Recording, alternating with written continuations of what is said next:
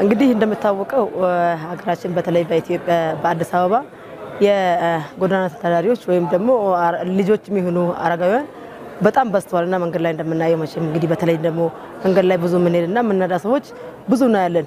ይሄ እንግዲህ በአንዳንድ ግለሰቦች ተጀምረዋል ተጀምሮ ነበርና ያም እንግዲህ በቂ አልሆነም እና አሁን እንግዲህ እነዚህ ነገሮች በጣም እየበዙ ነው ያሉት እና አረጋውያኖች ያለ ጧሪ ያለ ቀባሪ እየቀሩ መንገድ ላይ እየተንከራተቱ ነው ያሉት። እንደዚህም ደግሞ ህጻናቶች ደግሞ መማር ሲገባቸው እንደዚህ በብርድ መብላት መጠጣት ሲገባቸው እንደማንም የቤተሰብ ፍቅር ማግኘት ሲገባቸው እንዲሁ በመንገድ ላይ እየዋሉ እያደሩ ነው ያሉት እና ይህንን እንግዲህ መቼም ሁላችን ልጆችም ልጆቻችን ናቸው፣ ትላልቅ ሰዎችም ቤተሰቦቻችን ናቸው፣ እናቶቻችን አባቶቻችን ናቸው፣ አያቶቻችን ናቸው። ይሄ እንግዲህ ሁላችንም ያገባናል። ይሄ እንደ ወገንም እንደ ሀገርም እንግዲህ ሁሉም ባለድርሻ አካላት እንግዲህ ሊያስብበት ይገባል፣ ልናስብበት ይገባል።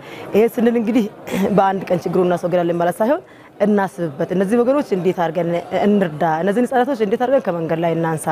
አሁን እንደምታወቀው ለምሳሌ እንደነ አበበች ጎበና ብንወስድ እንደነ ሜሪት ሆይ ብንወስድ እንደ መቄዶንያ ብንወስድ ብዙ ነገር አድርገዋል እና እኛስ ምን አደረግን የምንለው ወደ ራሳችን እንመለስና እነዚህ ነገሮች እስቲ ከጀመሩት ጎን ቆመን ችግሩን ለመቅረፍ ብንሞክር በበኩሌ ደስ ይለኛል እላለሁ።